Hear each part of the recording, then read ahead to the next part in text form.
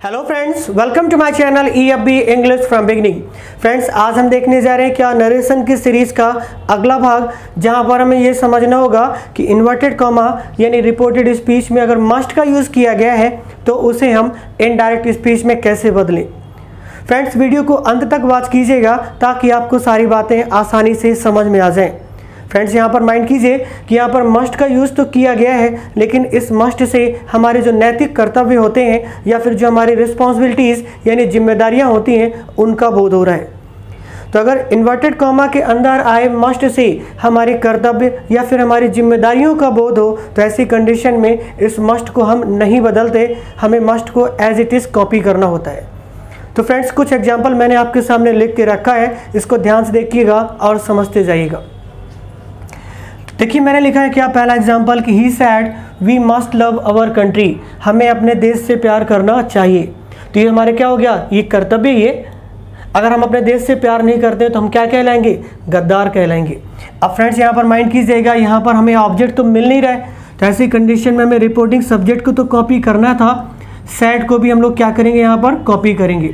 क्योंकि ऑब्जेक्ट ना हो तो हम सैड को टोल्ड में नहीं बदलते। तो फ़िलहाल यहाँ पर देखिएगा क्या लिखा मैंने ही फिर क्या लिखा है? सैड और इन्वर्टेड कॉमा को तोड़ने के लिए मुझे क्या लगाना होगा? दैट बाकी सारी चीज़ों को यहाँ पर हम चुपचाप क्या करेंगे? कॉपी करेंगे। We must love our country C O U N T R Y तो आप ध्यान से देखिए, ये थी हमारी क्या डायरेक्ट स्पीच और ये हमारी क्या हो गई? इनडायरेक्ट स्पीच तो सेंटेंस हमारा क्या बना है? इनडायरेक्ट में he said that we must love our country दूसरा एग्ज़ाम्पल आपके सामने लिखा हुआ है she said we must obey our parents तो हमें क्या करना होगा? पहले रिपोर्टिंग सब्जेक्ट को कॉपी करना है, फिर क्या लिखना हमें यहाँ पर? सैड लिखना है. इस इन्वर्टेड कॉमा को तोड़ने के लिए हमें क्या लगाना होगा? दैट फिर से सारी चीज़ों को हमें यहाँ पर कॉपी कर देना है. तो क्या लिखना होगा मुझे यहाँ पर? We must obey our parents P A R E N T S एक एग्ज़ाम्पल और आपके सामने लिखा है। क्या लिखा मैंने कि my teacher said we must respect our elders अगर यहाँ पर सैड के बाद होता कि my teacher said to me तो उस कंडीशन में उसको टोल्ड कर देता। बट यहाँ पर एक्चुअली बोल रहे हैं क्या टीचर जी? कि we must respect our elders हमें अपने बड़ों का सम्मान अवश्य करना चाहिए। तो ऐसी कंडीशन में हमारा जो रिपोर्टिंग सब्जेक्ट है वो कौन है? माई टीचर तो इसको आप कॉपी कर लीजिए। फिर क्या लिखना पड़ेगा मुझे यहाँ पर? सैड इन्वर्टेड कॉमा को तोड़ने के लिए मैंने क्या लिखा यहाँ पर? दैट और बाकी सारी चीज़ें फिर से मुझे यहाँ पर कॉपी करनी है।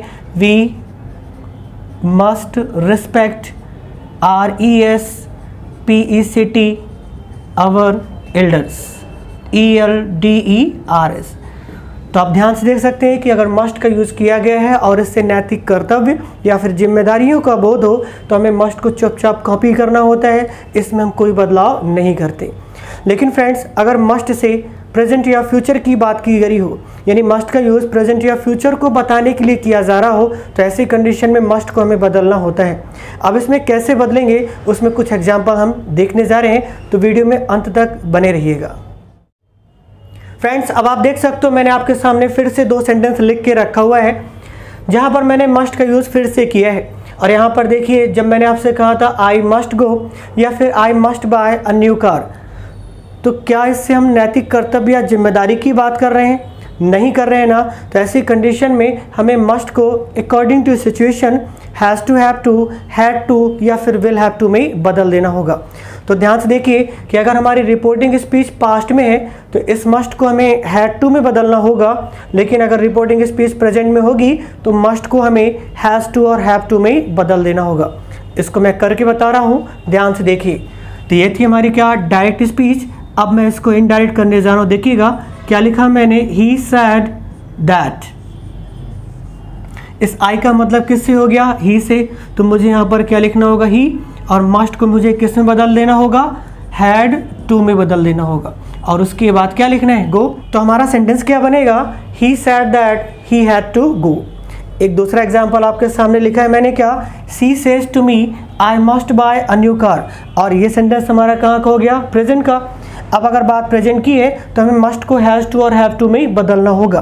तो ऐसी कंडीशन में देखिए क्या करने जा रहा हूँ मैं। सी लिखा मैंने। उसके बाद ये क्या हो जाएगा? टेल्स हो जाएगा। क्यों किया मैंने यहाँ पर टेल्स क्योंकि यहाँ पर हमें रिपोर्टिंग ऑब्जेक्ट मिल रहा है। अब रिपोर्टिंग ऑब्जेक्ट मिलेगा तो हमें से को टेल में बदलना होगा।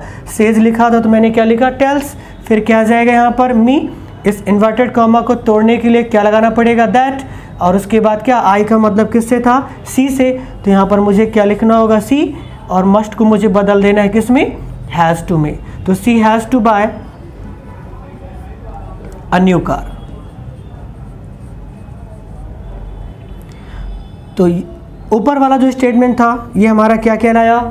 डायरेक्ट स्पीच और ये हमारी क्या कहलाएगी? इनडायरेक्ट स्पीच कहलाएगी। तो फ्रेंड्स आशा करता हूँ कि आपको सारी बातें आसानी से समझ में आ गई होंगी।